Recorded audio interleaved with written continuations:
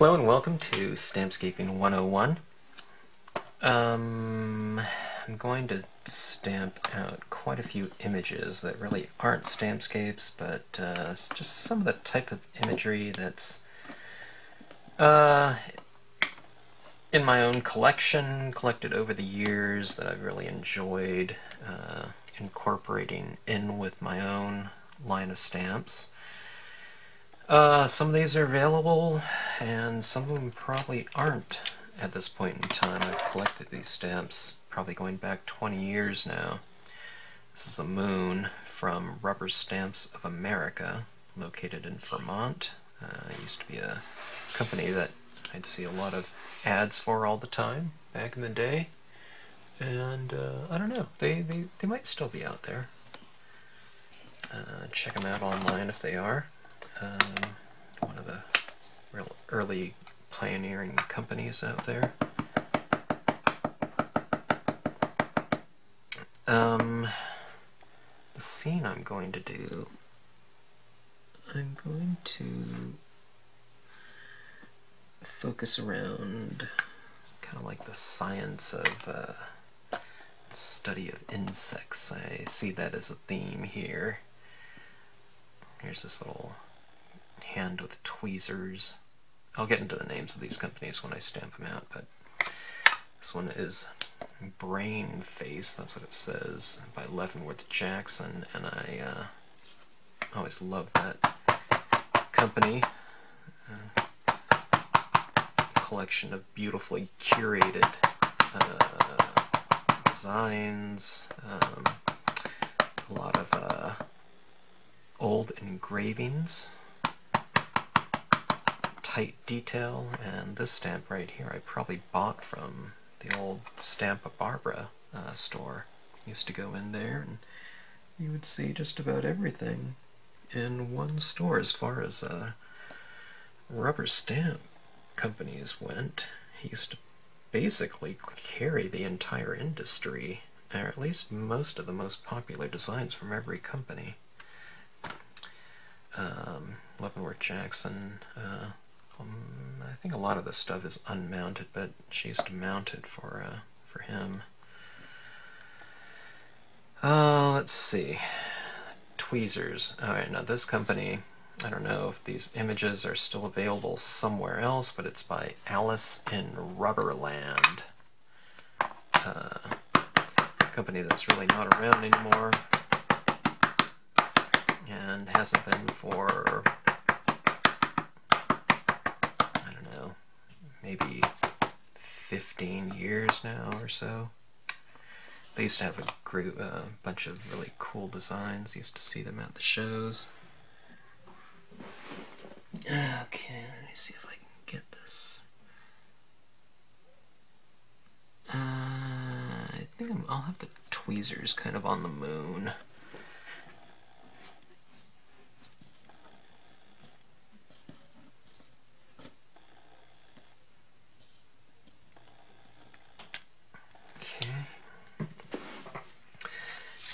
nice tight detail in these old engravings. Uh, sometimes it surprises me at just how much detail you can get in a rubber stamp impression, you know, by the time you take artwork and you have it made into a typically a magnesium plate, and then you have mold made from that plate, and then you're pressing rubber, and then you get it to a rubber stamp form, and then you have someone inking it up and making another impression, you're talking about a lot of generations away from that original artwork, which in most cases aren't isn't really a super great artwork to begin with because they're just reproductions in a book. Um, but reads pretty well. Um, I had kind of found I was going to do something with this uh, compass right here and this universal adapter. So I kind of measured off um, uh, the center point, and now I stamp that moon over it, and I can't see what that center is anymore. Let's see here. This is uh, it's two and three quarter inch.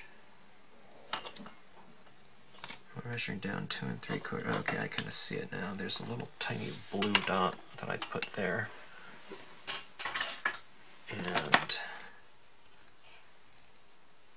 okay, almost lost it again. Let me point in there, okay, because that's where I'm going to use my uh, compass and uh, create a, these concentric circles around. And the other one is right here. I better kind of make a little indentation with that. And you'll see what I'm going to get at when I when I get to it. Okay, uh, three images so far. Um, these three uh, moths, maybe a dragonfly or damselfly or something like that, um, by are by 100 proof press. Now they still they they are still around, and uh, that's one of my favorite um, rubber stamp companies. A lot of really cool uh, engraved pieces. Okay. Engraved imagery. And let's see here.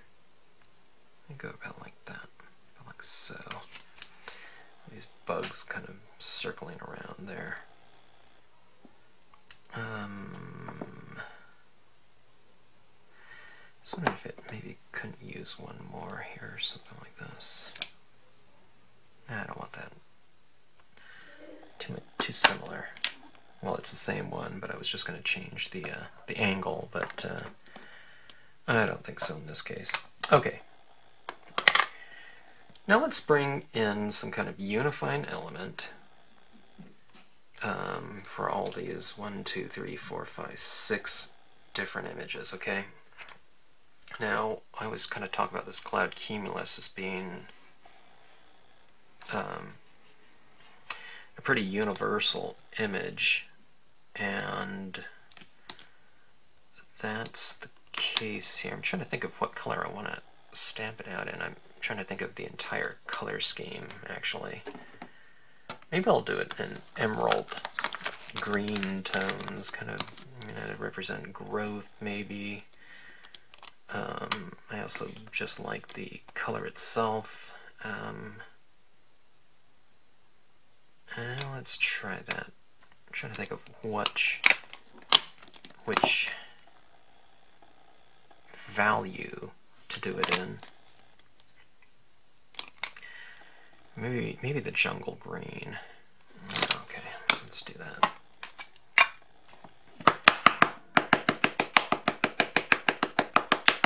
I basically just want to go with at least a medium tone, I'm thinking here. Um, there's going to be a lot of impressions of this, blotting off the perimeter, and a good portion, maybe a half inch into the top where it's going to be kind of a towards the center of the scene it's going to go from light to dark. Alright so I, I want some nice light values of it in that area okay All right. you're wondering... Oh! Don't drop your stamp. I just did.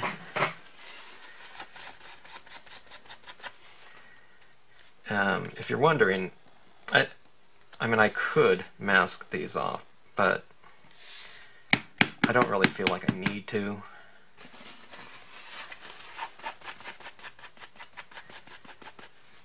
I feel comfortable enough just kind of stamping around them. Now, that hand I don't really feel too comfortable stamping around, so, uh, or stamping over, so I'm going to mask it off like so, and come into it like this as always, kind of under mask, you know, so that if you do have some of that going into that thumb or hand, I think that's better than having a big white line in between the cloud and the hand. All right.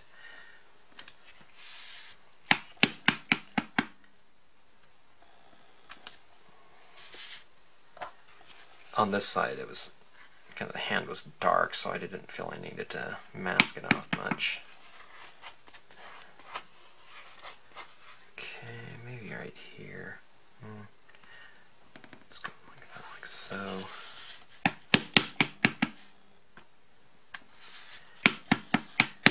Changing the angle.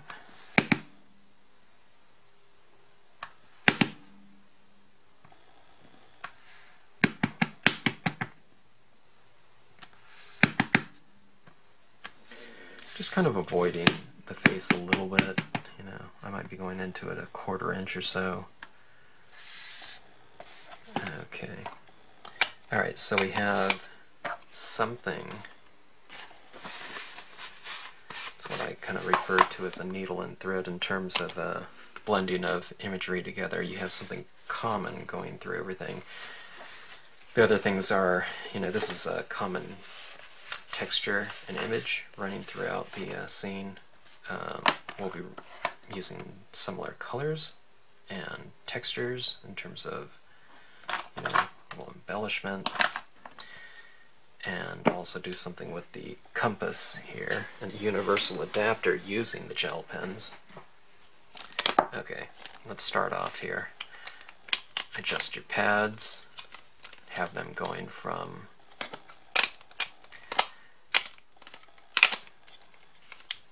light to dark. These two are about the same value, so it doesn't matter which one comes first. Um, I'm trying to think if I want to have this yellow in here. I don't know. Maybe I'll do something like this. I don't know, maybe not. I don't know. We'll figure it out let's just start off. Okay, now I need to start off with a very light color. Now what I was thinking about with this pale orange, I was thinking this might just be too narrow of a range of tones. Hue, it's all green, but they're different types of green, but it might be too narrow for me, so I was thinking about going into the uh, kind of the orangish tones just for a little bit of a change. Uh, to extend the uh, the color range of the scene slightly, just by going into a very light version of an orangish hue. And what it'll look like in the end, I don't know, because we have all these other colors that will come over the top of it. Alright, Now I'm kind of retaining some of the, the white of some of the cloud areas. Which ones you do that with, it doesn't really matter. Just retain some of them, some of that area, so you have nice reflected light uh, coming at you, if that's kind of what you're going after. I think having a nice value range in a scene can really um, enhance the, uh, the visual uh, richness, potentially, of whatever you're doing. You know, having some kind of interesting lighting scheme. Okay, now that was a Peach Bellini Adirondack Lights color. It's very slippery. It's very thick ink. Um, and it blends beautifully. Don't just color everything, but wherever you put this down, go back and add a little bit more just to kind of lubricate the page a little bit you know. It's kind of penetrating or laying on the surface of the card stock, the card stock, the glossy card stock. But build it up a little bit so that you have a, you know, you've kind of lubricated the page somewhat. Alright, now this is a Marvy. It's yellow green 52. Adding this in. This would be a beautiful color scheme for grass as well. You know, if you're doing a meadow, it's always ends up it's the same thing. It just depends on what you're stamping it around. Okay, in a meadow like this one from a few lessons ago, I've oscillated the lights and darks across the body of uh, grass. This one I'm just doing the same thing over clouds. Okay, it's the exact same process.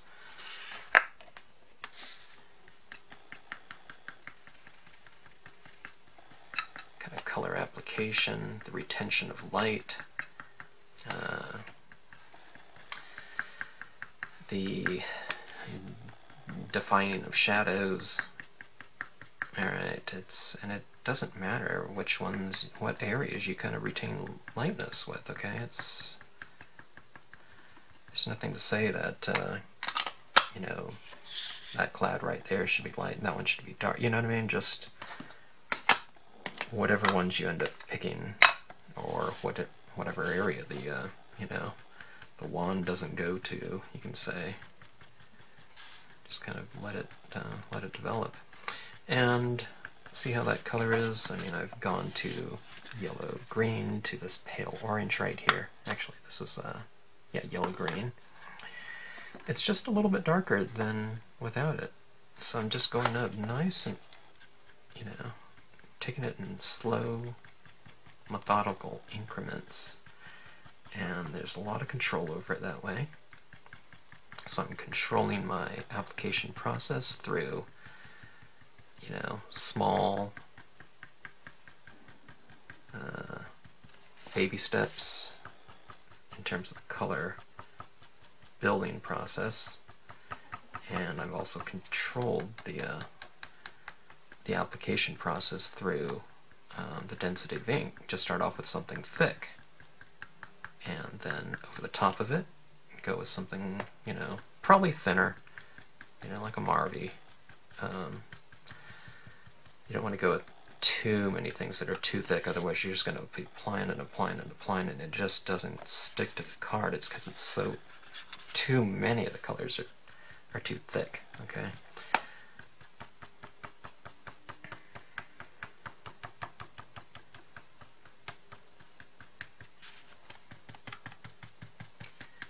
Okay, that was the pale green. Now, you know what I'm thinking already? I'm thinking that I need something brighter. This would provide it right here. It's a light green, but I think it's going to be limiting a little bit in terms of the uh, the intensity of a scene. So I think I am going to go with something really a lot brighter as a sub color, and that's yellow. Okay, now yellow is of course related to green. Yellow and blue make green. Okay. So you go from some that to that, you know, or from this to this. Alright. I want there to be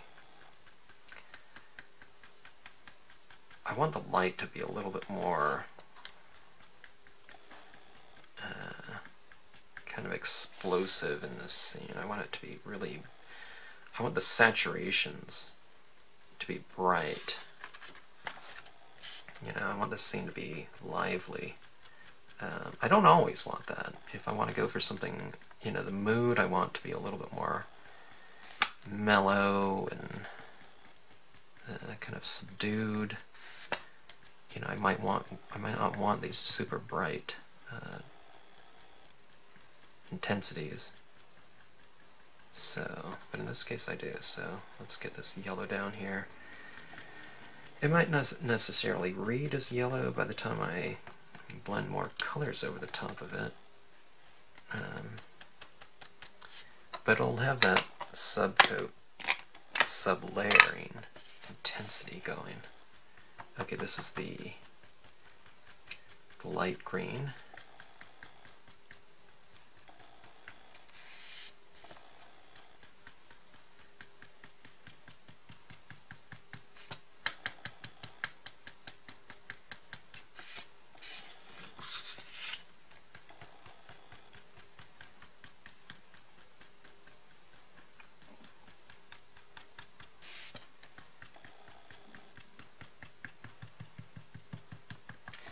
Working the perimeter, especially I want my perimeter to be fairly dark to contain the composition. And this scene, like all, needs containment. There's nothing on the outside edge here, you know, in terms of other imagery. At this point in time, I'm going to add some more other, other things in here. Um, but, uh, but right now, it's kind of wide open. Uh, compositionally, it's it's just not full. It's uh, it needs more uh, of something. It needs the composition needs weight to me. I think uh, visual weight. It's too airy right now. Okay, uh, that was jungle green, same color that I stamped out the clouds in.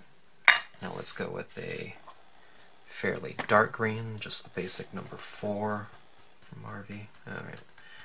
That's where it really starts to, uh, you know, start getting a lot darker. Um, in this one, this one value. Be careful when you get to your darker tones. Don't take them into the scene quite as fast. The paper isn't being as absorbent because it's coated with so much ink. You get the pulp of the page starting to absorb moisture through the first several colors. So you have this darker color that's kind of remaining on the surface a little bit longer. It's not being absorbed into the paper and it's a darker color to begin with so you don't want to drag it across in the drier areas right here and get a big, you know, mark like that. So in other words, just stay on the edge for a lot longer. You can dab it around like this too, and that kind of builds up a darker tone. Sometimes if you drag, you're pulling off.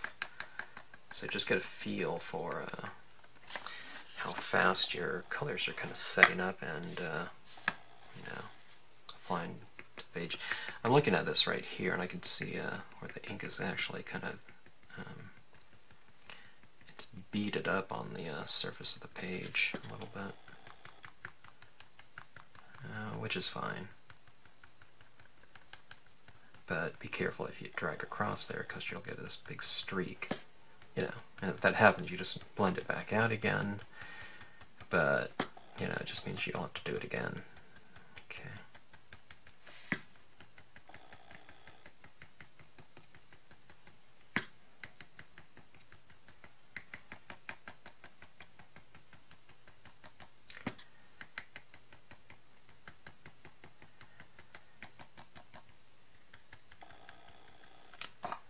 Alright. Was a dark green. It's very dark. Um, I've retained some of the uh, shapes of the clouds in these areas, but for the most part it's very, very dark.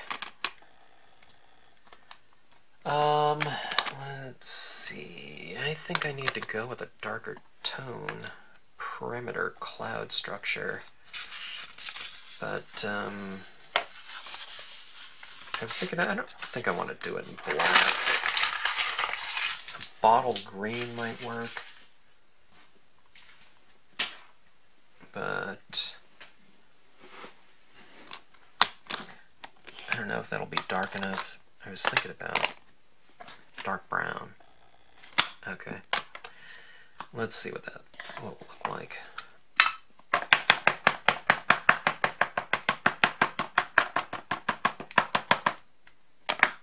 Okay. Billowing clouds facing towards the light is coming from above, right? In these clouds. I'm going to blot off the edge, you know, right and around here, because I don't want that darker shape right there. Uh, in this case. Alright, and in the darker areas, make your impression and hold. There's an awful lot of ink on page already.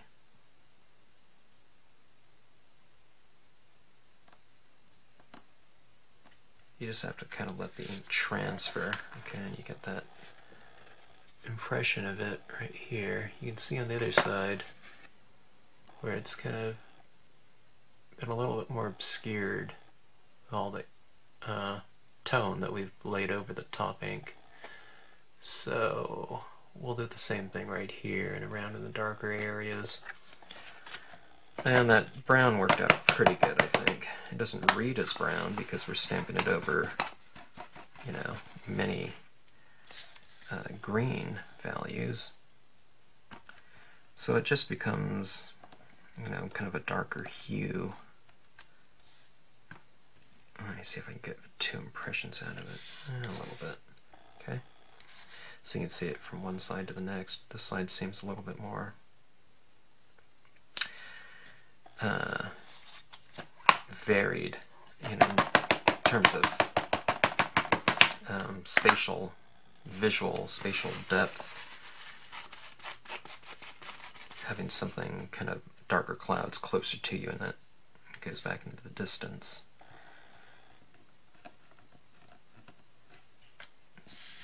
So the lighter values kind of recede and the darker ones come towards you. So we're creating depth uh, with the cloud, uh, with itself, lighter clouds and darker clouds. Okay. And I like the way that's going. I'm, going to add a few more here.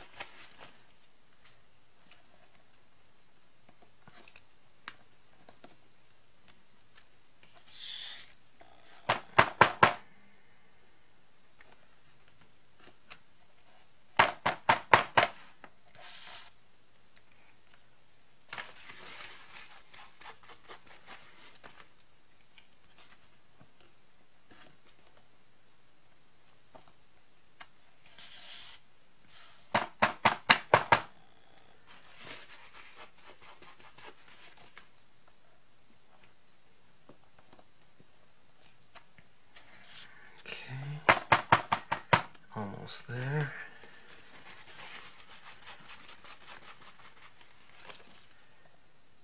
And one more. Okay.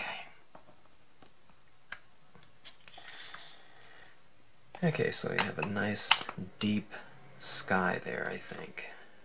Um, made possible with the, uh, the cloud. Let's bring in some of that dark brown tone. I still have some of the green on here, so this brown pad is a little bit dry, so it's not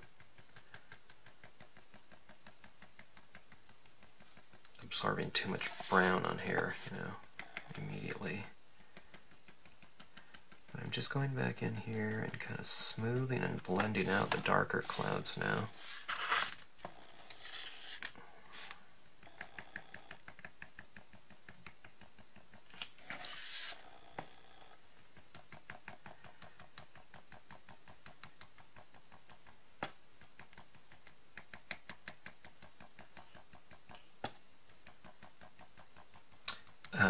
Darker you take your perimeter, the brighter or lighter the lights will seem by contrast.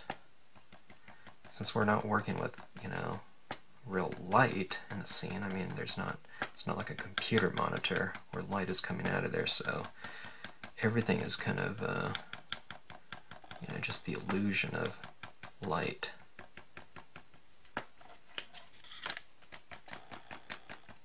You create the, illusion of light through the use of shadow or darkness.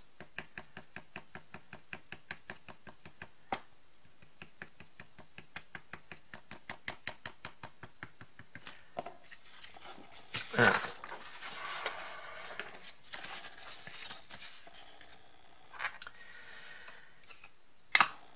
Let's see here. Um, You just notice I had a bottle green here. Let me try that here. Four corners.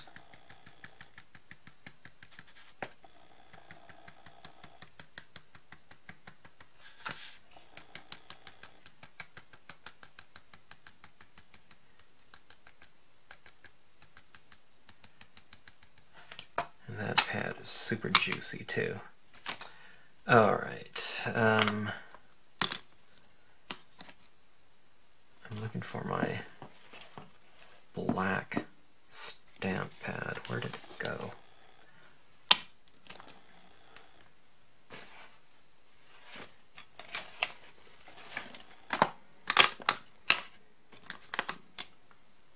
Okay, here it is. Alright, I'm going to add in some foreground here. And I think I have the perfect thing for that.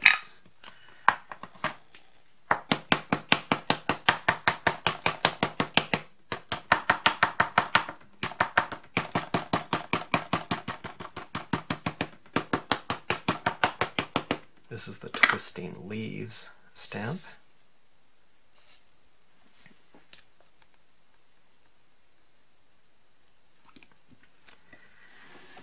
And I'm just going to have it coming in around the head at the base. Maybe I'll do another impression or two at the side of it, depending on how this looks.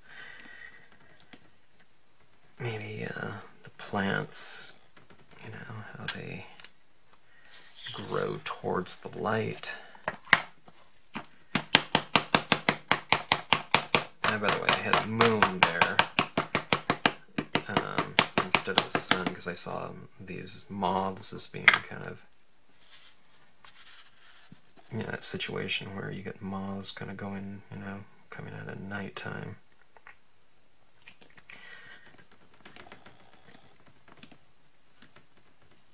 Um, this is creating depth um, by having something large, visual depth. Um, it's also kind of framing the scene, you know, in terms of compositionally by having something kind of dark on the perimeter. And look how much, have, you know, this little face kind of pops out by having something real dark and solid right next to it. Okay.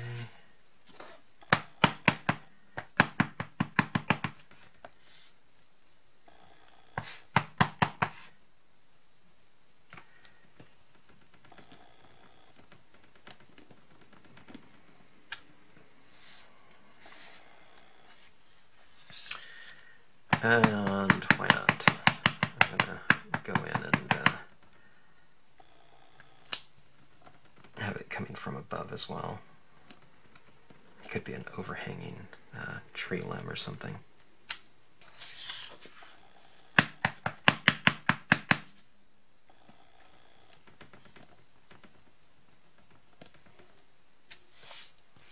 Okay.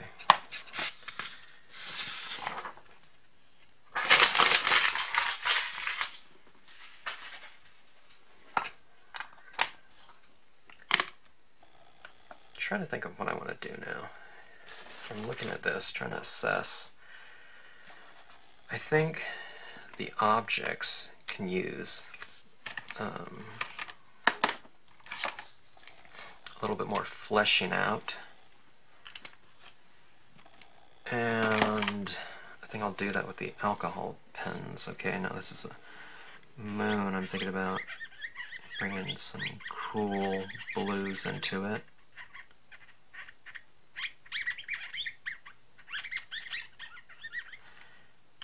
That was a very pale blue. This one's a little bit darker. Maybe hit the moon kind of here and there in the shadows. This darker version blue. And I'll go back in with the light one and blend that out. You can do that on glossy cardstock. You can kind of push the colors around a little bit.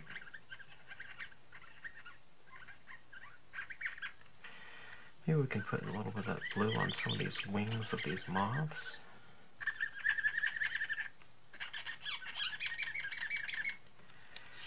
And let's see, on what was it? Brain Face, I think the name of this stamp. Why not bring some of this cool light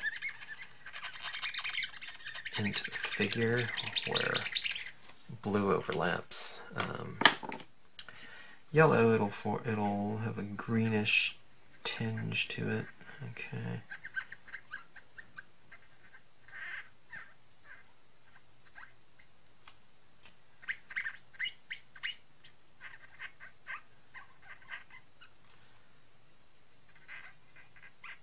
Kind of interesting image. It's probably some biomedical illustration. Um, I don't see it as like some kind of gruesome thing, even though it's like a cross section. I see it as more uh, this little figures kind of being enlightened. You know, it's expansion of knowledge and whatnot through study.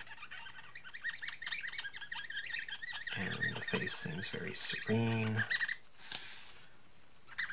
Uh, this is kind of a flesh, you know, peachy color.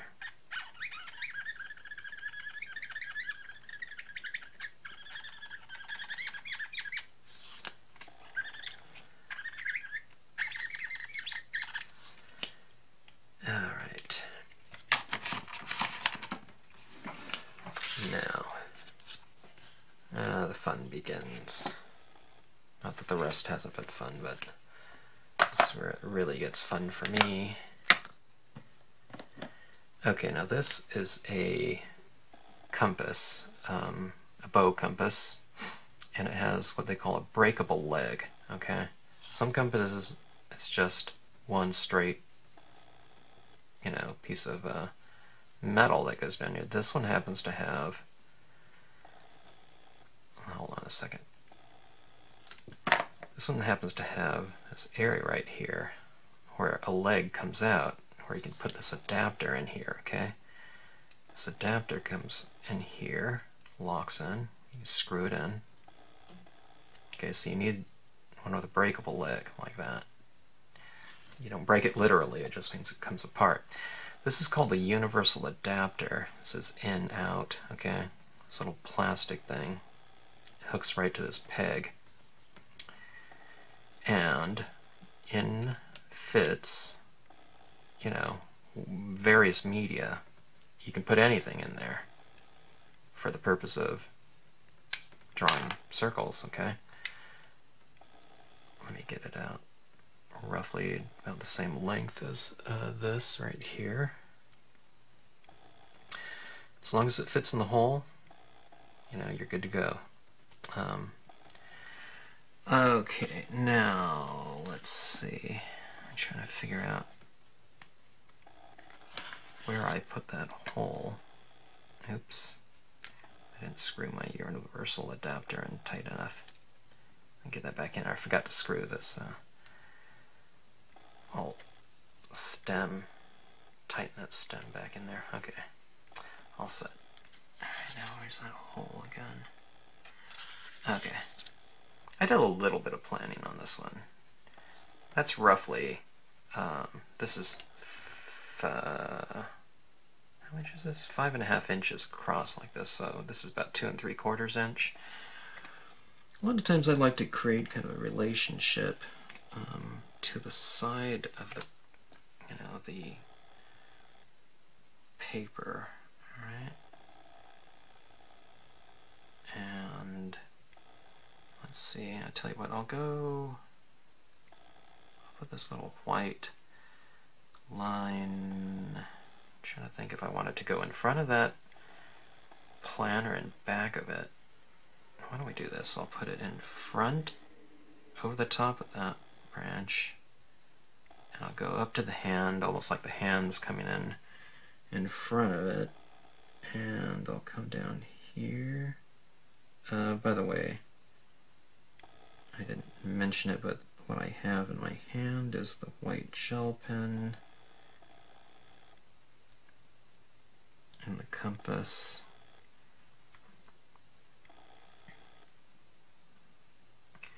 Okay, and I've made this circle, and you can see it kind of goes right to the edge of the card stock. You don't have to measure everything off perfectly. Uh, I just did a little bit of planning there, you know, to kind of create this relationship with the moon and the, uh, the actual dimensions of the paper. Okay, now let me see where I can find brain face. Um, and down here, what I did was I measured off the uh,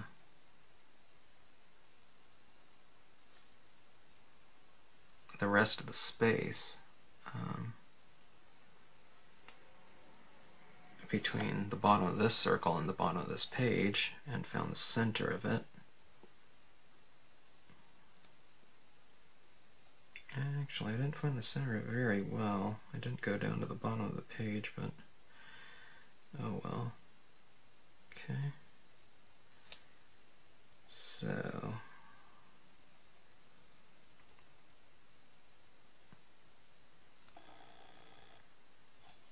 Sorry, my hand's in the way. There's no other way around it with this compass. Okay, so what I've done is I've created these two circles right here. Okay. And that's with a white gel pen. It, one one I wish it was a little bit thicker. Um, get that flowing a little bit more. Let me try to get a thicker line.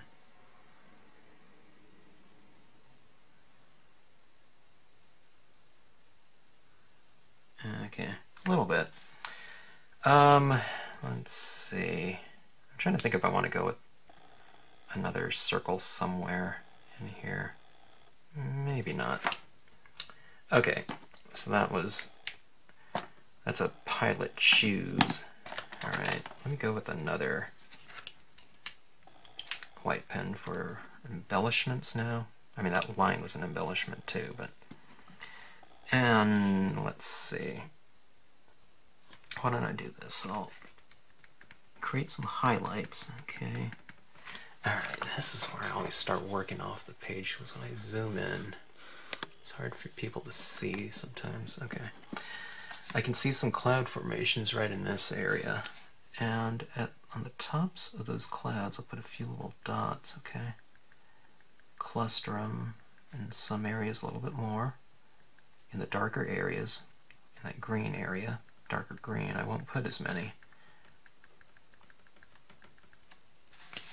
Okay, see I'm kind of working a small little area right here. And let's just keep working around. And what we're doing is kind of we're reiterating the direction of light. In this case, it's a, I don't know, in most of the scenes, it's a center light. Now on the bottom of these clouds, because now this you know the light is coming from underneath these clouds, the these clouds will have the highlighting on the bottom side of them. All right.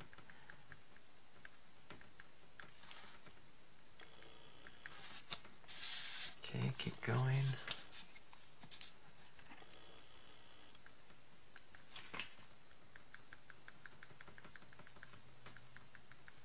I have a stack of pads here that is kind of rattling around, rocking.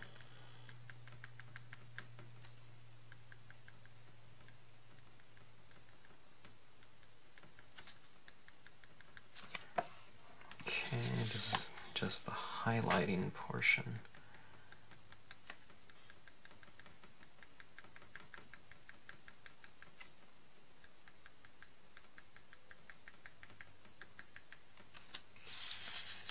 Okay. Um, can do things, do a lot of things uh, visually. It can also represent things. I'm starting to think that what I'm going to do is I'm going to have a lot of those little highlighted dots within these circles. And kind of I see it as being somewhat of a a circle in science, you know, where you're inspecting something. Maybe it's something akin to like a microscope. So we've kind of created a you know, this different visual um, vehicle, I guess, that can represent something uh, visually and compositionally. Um, I did it to create a relationship between the objects and the edge of the page. Um, but uh, kind of uh, as far as meaning, maybe it's uh, taking a look at something, studying it, you know, the kind of the scientific method uh, that we've all done, looking through microscopes.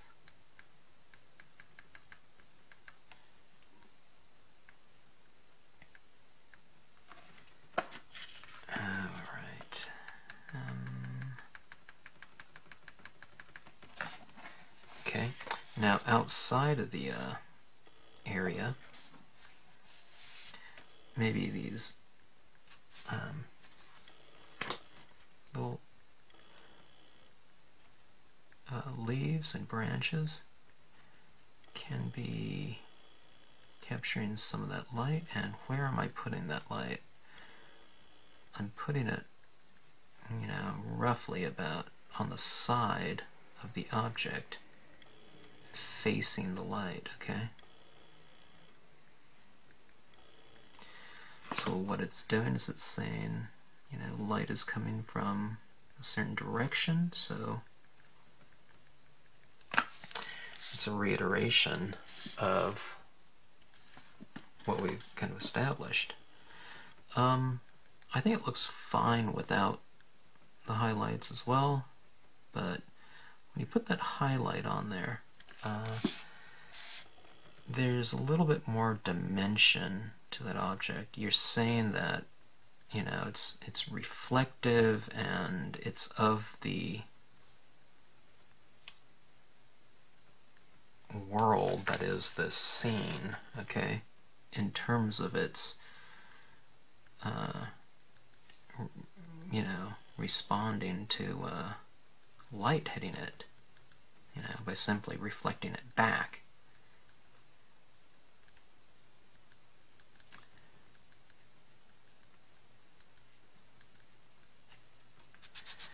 Okay, we have these branches up here. And let's do it like we did the clouds. We'll bottom light them a little bit. Okay, now if you put the, you know, highlights on the wrong side of a leaf, you know, it's not any big deal. Uh, lighting is just wherever it ends up going, that's where it's supposed to go, you know.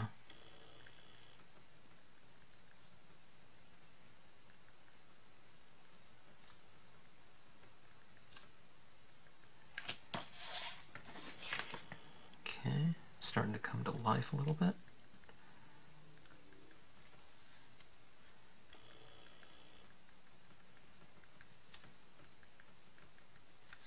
Okay, now that here's this circle kind of going around, a lot of times what I used to like to do, uh, it's so thin that a lot of times what I like to do is I like to put a few little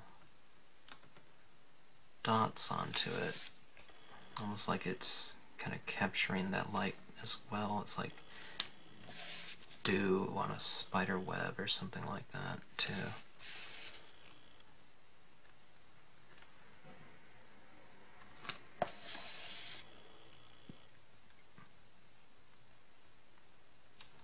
Something very delicate.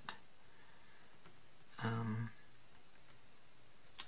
you know, to us, to a spider, you know, it's one of the strongest uh, materials, but you know, visually here it's it's fairly delicate. So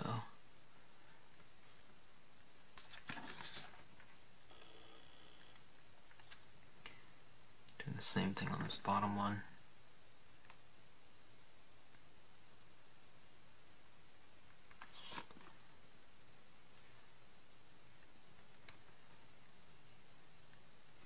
Highlights here and there on the face. Oops.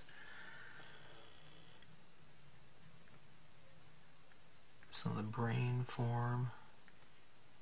Maybe uh, highlights. Kind of electrical impulses. Electrical signals going through the brain.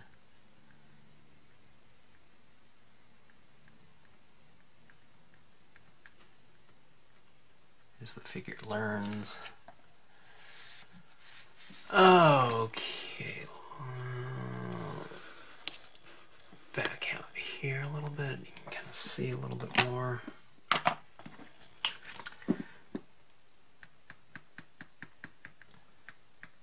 It's kind of light in here, so you can't, uh, in this circle, I'm talking about, can't really see these dots too much, but I'm going to add it in there anyway. Okay, now, okay, let me zoom back and I, I just remembered I found a good working gold pen. I don't know if you'll be able to see it, but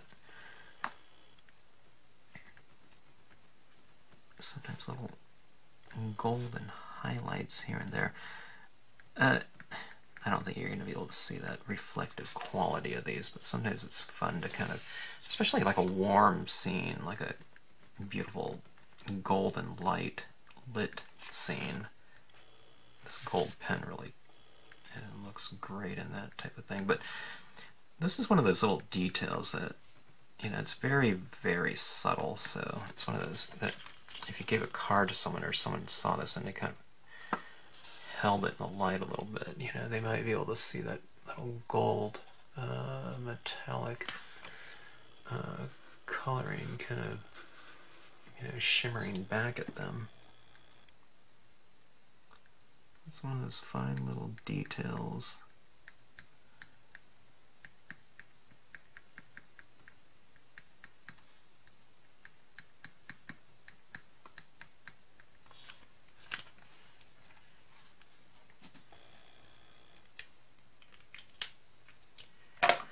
Was looking at this head down here. I, I think pen going. Um, I think I'm gonna do something. I think I want to have a, another concentric circle in here.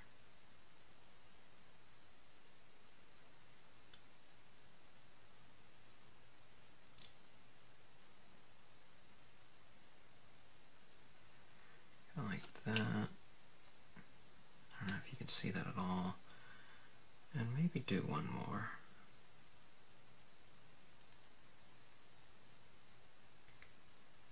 I have that plant kind of going in front of on this figure. Um, and here it's in the back of that one, so just for a little bit of variation.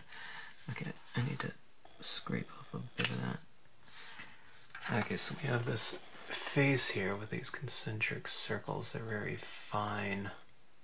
I don't know if you can see those in there. Here. But there's the highlights. Okay, and last but not least, let's add a few little finishing touches on this. Um, this would be a perfect place to uh, to use some of the white uh, pigmenting just to kind of soften up and uh, to create a glowing um, area in the uh, center of the card.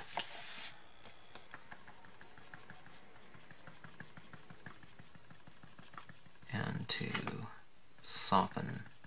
I mean, there's so much cloud form in here. And I might have some of these flying objects receiving some of the light and illuminating their wings. This butterfly right here can be a bit bottom lit, you know.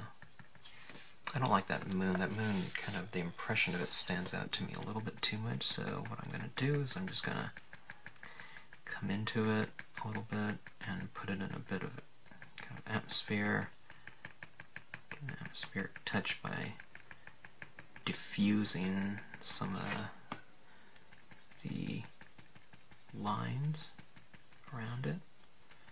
Maybe this finger right here and thumb could be getting illuminated a little bit uh, by that light. See that? Yeah, a little bit of ink down there. See that little area down here on that palm? Let's do the same thing. Let's put a little bit of light in that area. Kind of, it turns the object in space a little bit. Having that little diffusion right there. See that? It's, well, I think it can. I think it can even take a little bit more. Let's try to add some more in there.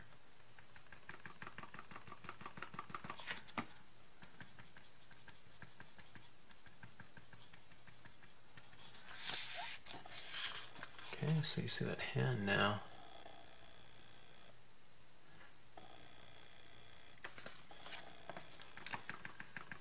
Some of these leaves. I'm going to turn the uh, leaves in space a little bit. Okay, there, there's a little bit of a diffusion right there.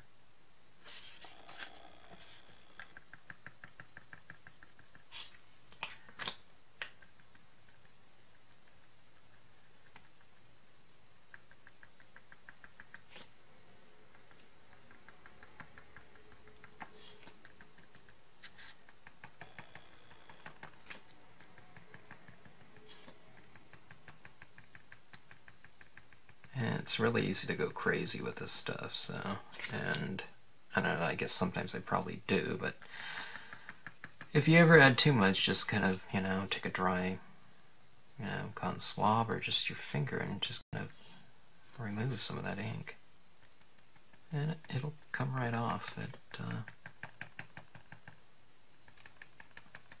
it's not gonna... Now this is a color box uh, frost white. If you put like a brilliance pad or something like that that's known for drying very quickly, that might be harder to remove. So kind of the slower drying um, pigments, like a color box, is, you know, in my opinion, the ideal type. Okay, enough of that. And let's go for a few bold marks in here with uh, some larger dots.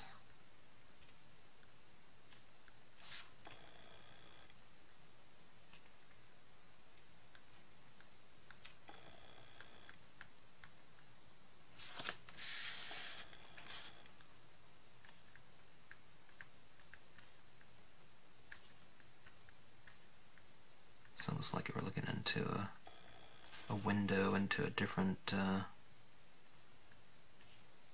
dimension or or galaxy.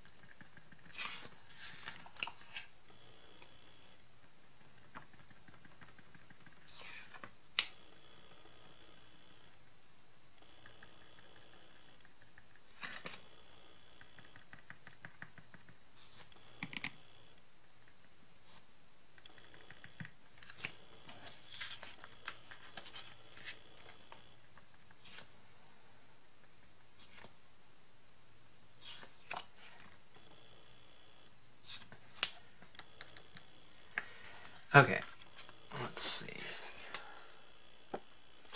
Little glowing little dots of light here and there.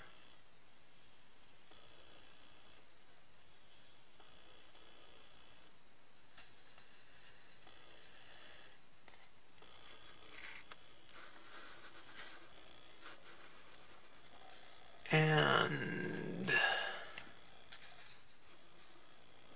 I think there you have it. Yeah, we'll think of a title for it, but anyways, um, scenes aren't always about lakes and mountains and rivers. I see this as being kind of a, a scene, kind of a different one still following the same concepts that I typically do in other scenes. This is another scene that I did using similar uh, imagery. But what do you see here? We see kind of a light area um, separated by a darker area and illumination down in here. We have these clouds up here. We have a foreground in a dark tone. In this case it's kind of up here in the corners as well. But you know, the darkness was right here. Kind of some kind of subject matter down here. But uh, it's all kind of the same concept. I mean, this one's a different color scheme, but you have this little glowing areas of light.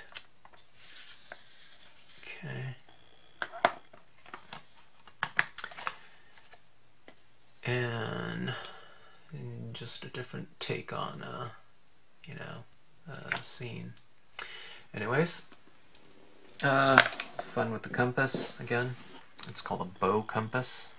Find one with a breakable leg and a universal adapter. Um, I saw that they had this universal adapter still online. It's only like four dollars, and I've had this one for probably 30 years, and you know, it still looks brand new to me. It's never it's never failed me. But the compass itself, probably you might be able to find one for twelve dollars, fifteen dollars, or something like that. But these two pens are really formidable. I mean, you can really put a lot of different things on there. You know, just the ability to draw circles with you know whatever media you're working in. Something like a big fat alcohol-based pen won't work, but a thinner one would. This is a Marvy pen. Brush marker. Fairly thick marker, but, you know, it, uh, I tested it earlier. And it fits right in there. Okay. So, it's a fun tool, and uh, I don't know, if someone feels inclined, I would definitely recommend it. Okay, uh, thanks for watching, and I hope you enjoyed the, uh, the uh, scene.